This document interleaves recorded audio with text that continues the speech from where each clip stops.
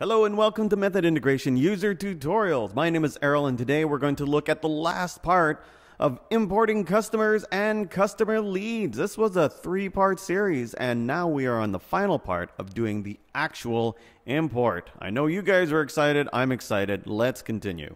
Once again, here is my spreadsheet file with my customers and customer leads. In the last two videos, I had to verify all sorts of things. The header names, did they match the field names of the customer table? Were the values correct? And did I have the required field? And you know what happened? All of that was yes. So we are good to go. Here I am back in method. We want to go to customize. Make sure we're in the integration tools tab links and we're going to scroll up and we want to go import into table from a file. Make sure that customer and customer leads is selected. Now choose the file to import. I've cleverly named my import file import customers. Open up and we're ready to go. Let's go to import data. I think we're going to prepare data next. So boom, we're at step two, prepare data. Now, this is all good. As you can see, these are the different fields that they're going to bring in. And it's saying it wants to import it to the existing field, a field that has the exact name, which is all great, except except for the very first column, the full name header name that we had. Now there is a full name field, but it's saying do not import. And why is it saying that? It's because I'm going to let you in on a secret. The full name field is a read only field. That means you can't write to it. That means you cannot fill it with information because this information is generated from, oh, probably the first name and the last name.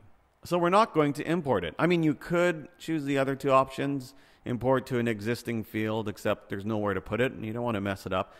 And you could, or you could create a new field, but I wouldn't do that unless you've really thought about table structure and how it's going to relate to everything else within your CRM. So, you know, I'm going to keep it at do not import.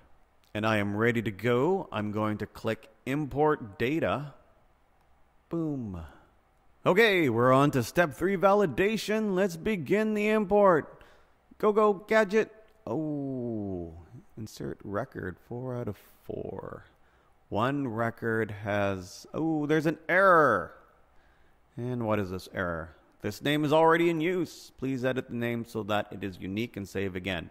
Well, if it's already in use, that means I probably have it in my file. And so I'm going to not import it. See, I have errors and you can see what's happening. So I'm just going to not import it because it already exists. And then I'll, I mean, you could if you want change the name, but I know that mine's an error, so I'm going to fix the error. I'm going to do the import again. Huzzah! Successfully imported six records, and it's finished. Well, great. Do I believe it? Well, yeah, I do, but I'm going to check anyway. Let's go over to leads. Let's do a refresh on my leads. Oh, here we are, my three leads. I do believe I had three leads or four. Oh, I only have, it only brought in the three because I think the name that existed was already a customer. So it's a customer, not a lead. Let's go over to my customer file. And for example, Takaji is a real person, and that's probably the error that I got. There we go. Yes, he was a real customer and not a lead. The other person that I can check.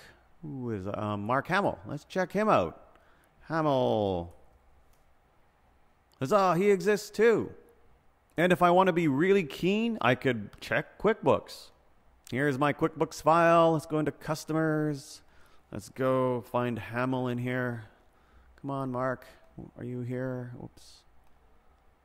There he is. Huzzah! It imported fine. So we're done. Yay! Thank you for watching Importing Customer and Customer Leads. If you have any questions, once again, you can leave them in the YouTube comments or you can tweet us at MethodCRM.